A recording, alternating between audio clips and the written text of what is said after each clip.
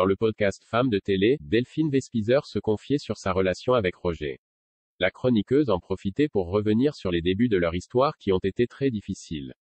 26 ans d'écart, cela peut faire parler. Et Delphine Vespizer ne va sans doute pas dire le contraire. En effet, l'ex-Miss France et chroniqueuse de TPMP coule des joueurs heureux dans les bras de Roger depuis quelques années à présent. Toutefois, au départ, personne ne croyait vraiment à cette histoire.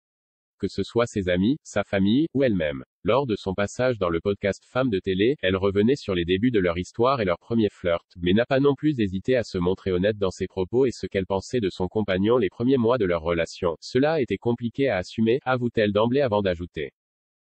On ne choisit pas quand deux âmes sœurs se rencontrent, on ne choisit pas l'âge. Alors, oui ça peut paraître bizarre sur le papier. Même là quand on dit 26 ans d'écart, je me dis c'est abusé mais vous nous voyez ensemble, il n'y a pas de problème. La chroniqueuse de TPMP assure que si vous faites un déj avec nous, on ne voit plus ça. Je trouve ça tellement intéressant quand des âmes se connectent, ça dépasse tout. Pourtant, elle n'aurait jamais imaginé que cette histoire puisse voir le jour. Notamment lorsqu'elle se souvient de la réaction de ses amis et sa famille quand elle avouait ses sentiments pour le patron de la boîte. Difficile à assumer, les amis l'ont pas vraiment bien pris, ils le connaissaient car il est le patron d'une discothèque. À la base, on sortait tous là-bas.